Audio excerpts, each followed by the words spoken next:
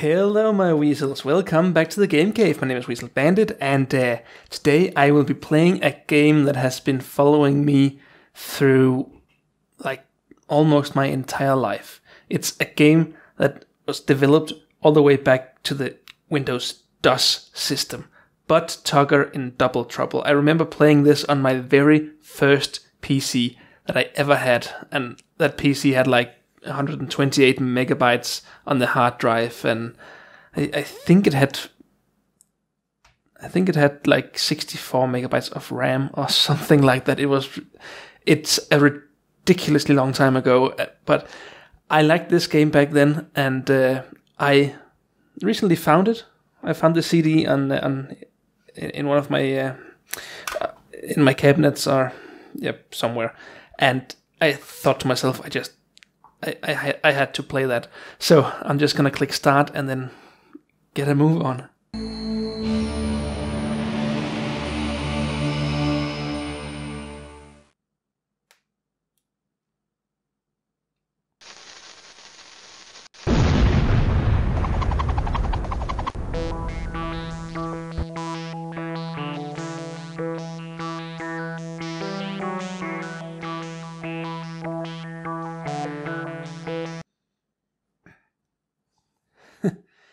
I rem- remember it was all. It was.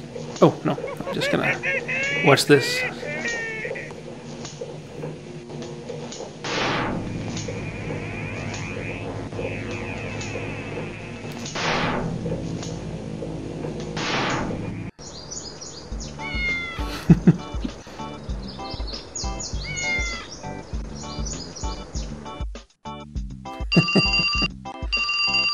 it's a nice phone.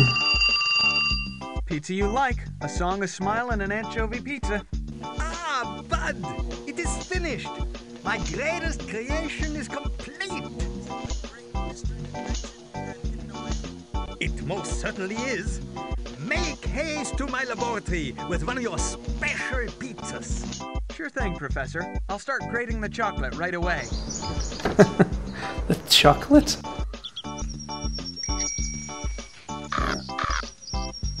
It's so long ago that I, I can't even remember most of the game, even though I played it like a hundred times over. But it was. Uh, I, I remember enjoying this.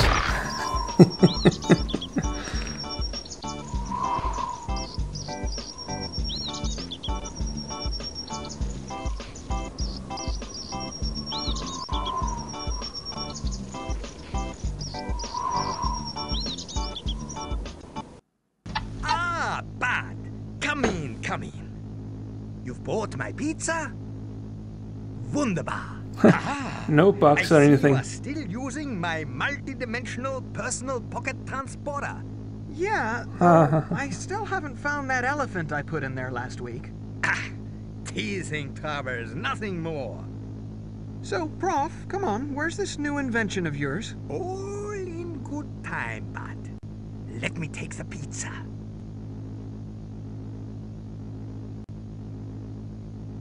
Wow. It, looks great, Prof, but what does it do? Do? Watch this.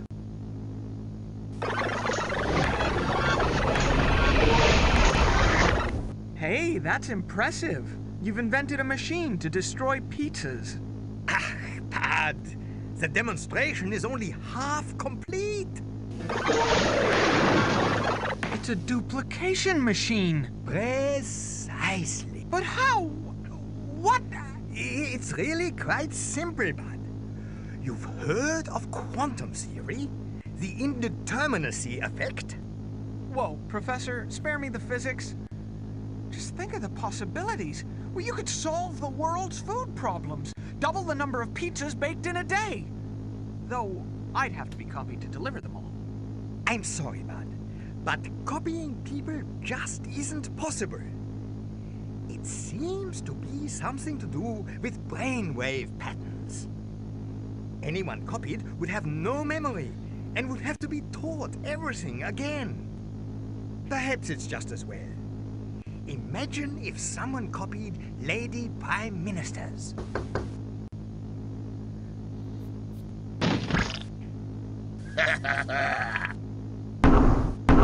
oh yeah, I remember those guys. Ah, my dear chap. You really should be more careful. It was a most unfortunate mistake to use a public telephone line. Not the most secure means of communication. All one needs is a simple wiretap. Isn't that right, Egbert? Yeah, boss, it was real easy. All I needed to do was, uh... Shut up, Egbert, shut up, shut up, shut, shut up, shut up. This is my bit. Uh, uh, what is it you want with me? I have no money. Money? I want more than money. I want power. Absolute power. Power over all those idiots who laughed at me. Mrs. Wimplethorpe, Jumbo Jenkinson, my mummy, and cats. I want all cats to be made illegal. Especially white ones. You know, those ones with the long hair, the smug looking ones. And your machine will give me that power. As one genius to another, I can only thank you effusively for delivering the means to complete my master plan.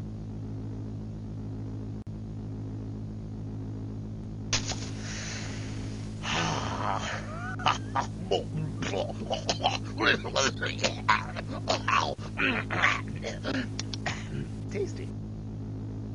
Egbert, please escort the professor to our secret headquarters. Norris, secure the machine.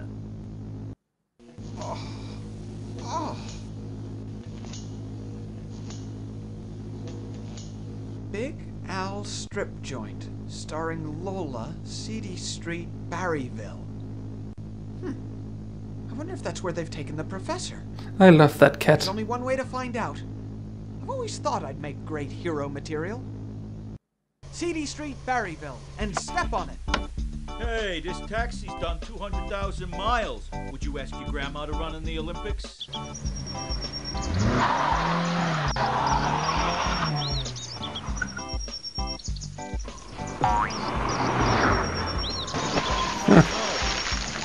No claims bonus and my Macy's discount vouchers.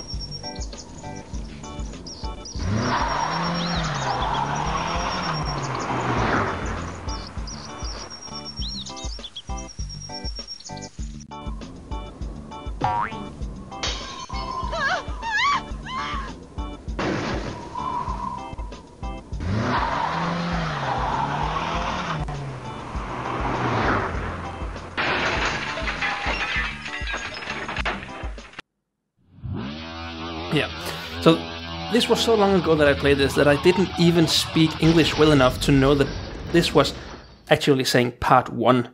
I thought it was the name of the company who made it, at, that they were called Patone, Patone or something like that.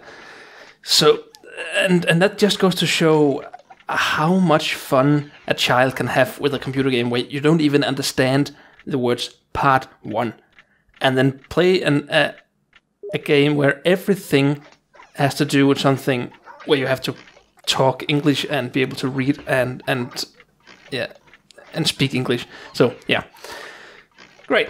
so I remember this. This this is the this uh, this hotel room.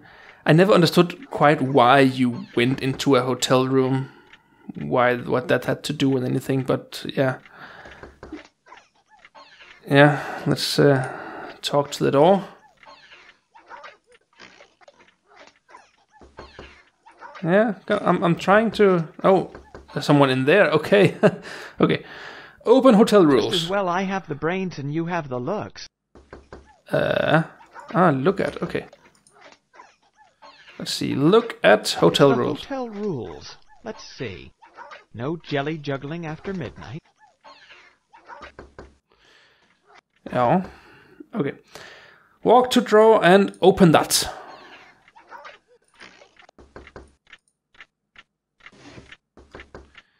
And the book. Pick up book. The Gideon Book of Fish. There's one in every hotel room. Of course. So yeah, I, I remember that this uh, this place was even just this room was so hard to find a way out of. But yeah, well, I uh, I guess that uh, that's partly because I didn't speak the language very well. But uh, yeah, great. So I don't think that there's anything else that we need to pick up in this room. So now we need to get out of the window because apparently we can't use the door. It just won't open. Yeah. And the window is stuck, so what do you do? Naturally, you do you use the soap with the window. Yep, and Hey, it looks cleaner already. huh, but now you can open it. And I think Let's that go. I, I- I remember playing this game and so, like so many times where I didn't even get out out of this room. I just keep kept going in. Yeah. So walk to gap. Oh, I'm going to the gap. Yeah, there are some records there. Hello. Billy G's Sounds of the 70s. Cool. Yep. And some blue thing. It's all coming coming back to me. Hello. Yo, Mr. Pastry, how's it going? Hey, it's a pizza-faced kid. I'm looking for my friend, the professor. Oh, I don't need to talk here. He he talks for me. I'm looking for my friend, Yay! the professor. Have you tried the Department of Missing Persons or the Yellow Pages, the Dog Pound? The dog pound? Yeah, you'd be surprised at what turns up there. Look, have you seen the professor? Holder of the university chair, university teacher of high rank, one who makes profession of religion, that sort of professor. No, an eccentric professor from Muddy Creek. Oh, you mean the professor? You've seen him! No. All right, let's get up to this seedy street. Hi there, Mr. Shifty. How you doing? Mr. Shifty. The name's Tony, kid, and don't you forget it. What you doing out here? I'm a street salesman, kid. You want to buy something? That depends. Depends on what. On what you're selling. I sell it all, kid. So, what you got? Apples, pears, ugly brown bears, dice, lice, blind mice, boats, flies, pies and ties, coats, floats. I even sell goats. I got it all, kid. What do you want? Not quite sure. I'll have a think about it. You know where I am if you need anything. Hmm. Yeah.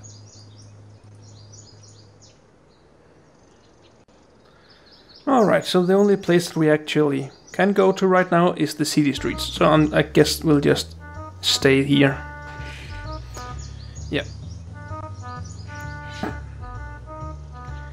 Great, and I remember that we need to go in here to find Lola.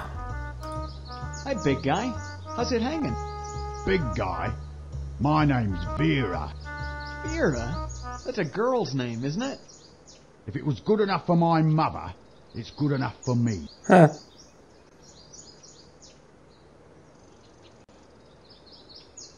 Can you tell me anything about Lola? What does boy want to know? What does boy want to know? Does boy have a name? A girl has no name. A man has no. no. um, hmm. Is she working tonight? Is she working tonight? Lola work every night.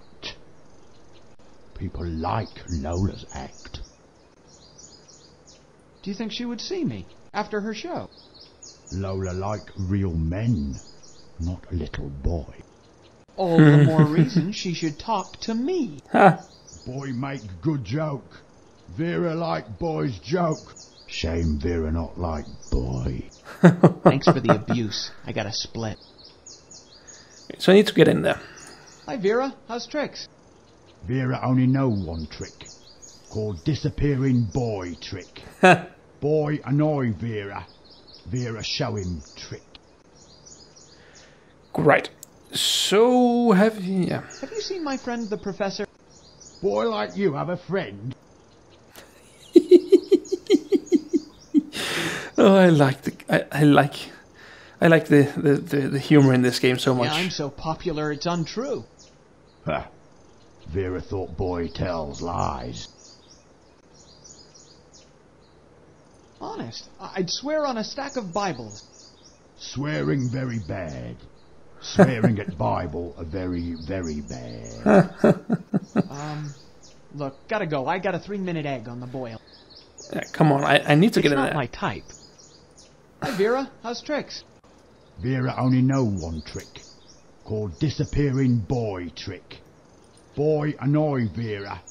Vera show him trick. Yeah. so yeah. So, is this where the action takes place? Yeah, action for members only. So, how do I become a member? Vera need blood sample. ha! But I'm a Jehovah's Witness. Boy witness kicking backside if you not stop asking questions. Surely there's another way I can get in. Fire exit blocked. Maybe boy make Vera laugh with funny joke. Vera like jokes. Hmm. Okay. How do you make an elephant fly? Start with a three foot zip. Okay, so it's a little old. But then again, so are you. Vera's still not laughing. Is there anything that does make you happy? Vera want to see nice tie. Then he let boy in club. What sort of tie do I need?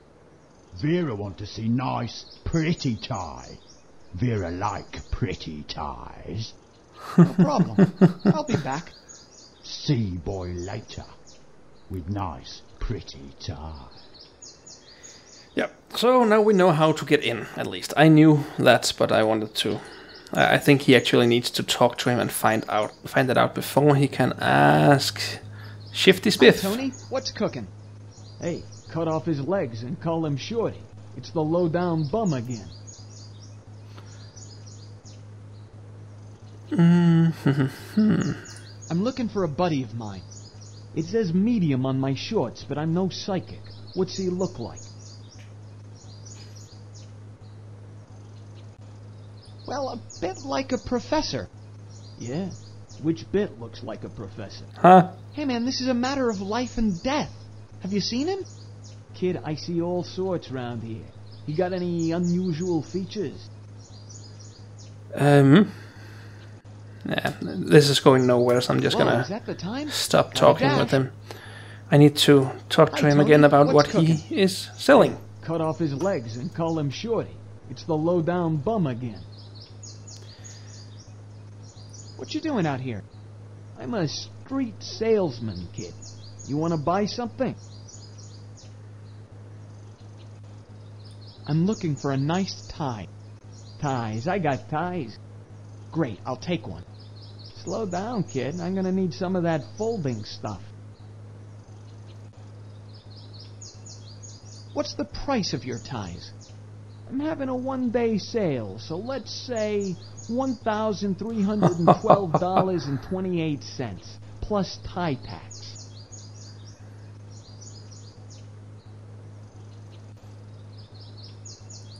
Can I pay by installments? Yeah, I got an easy-to-pay single installment scheme.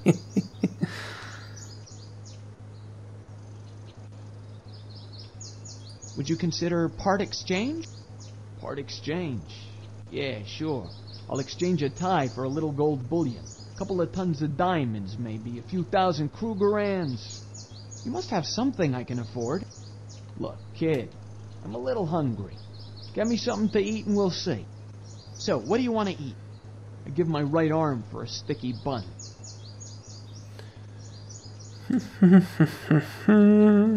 Where's the best place? Where's the best place to get a sticky bun?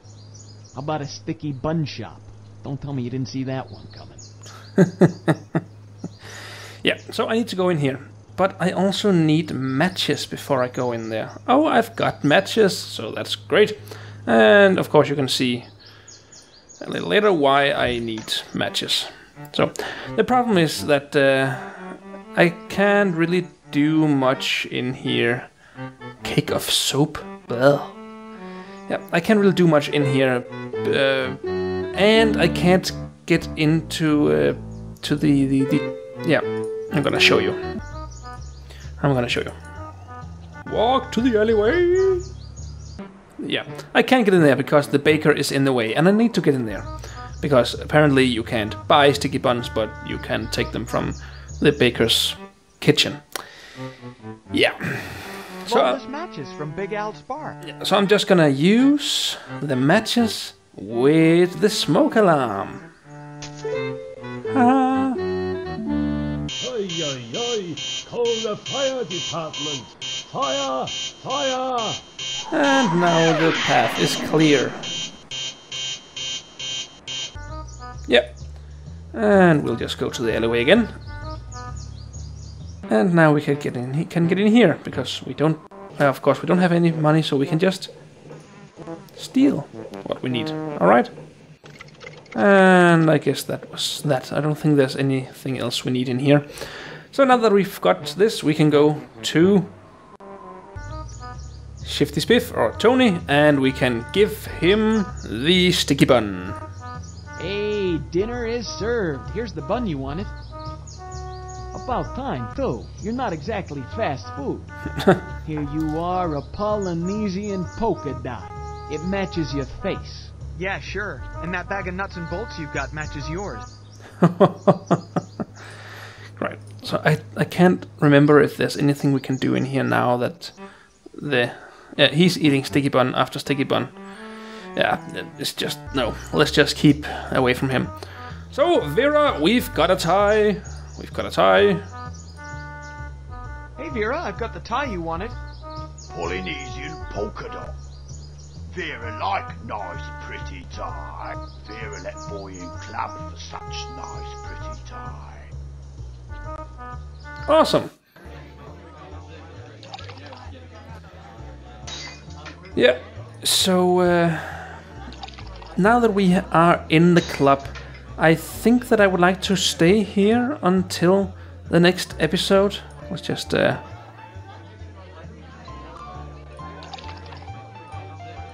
save there. Okay. I don't know if it's if it's saving, but yeah. I'm gonna look into that after I've stopped the video. But thank you for being at the Game, game Cave, guys. I hope that you like this game. This is uh, like the, the deepest of nostalgia that you can bring me. This is awesome. I like it. I will enjoy playing this game very, very much. I hope that you'll enjoy it too. So, yeah, there's not much to say, but thank you for being here. My name is Weasel Bandit. I will see you in the next episode. Bye.